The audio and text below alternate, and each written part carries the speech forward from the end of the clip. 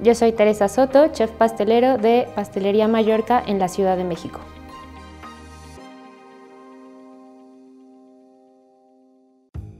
Bueno, mi especialidad en la repostería es la pastelería. Me gusta mucho hacer tartas, me gusta mucho hacer pasteles y me gusta mucho la pastelería clásica. La verdad es que me encanta hacer una ópera, me encanta hacer una tarta de limón y de pronto me gusta jugar con esas cosas también, ¿no? Como transformarlas. Bueno, si hay una tarta de limón tiene que haber una de mandarina, ¿no? Yo empecé a transformar como las técnicas europeas a las mexicanas a raíz de que en Mallorca, la pastelería donde trabajo, pues empezamos a buscar como formas de complacer y de consentir a las personas que nos visitan, ¿no? Empezamos como que en Mallorca pues se come tortel y ensaimada, ¿no? Que es como el bollo típico. Y de pronto iban muchos españoles y eso estaba muy bien.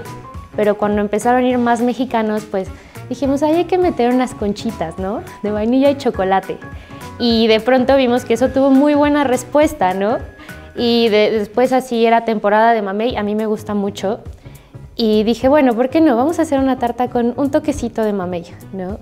Y empezamos así como a adaptar.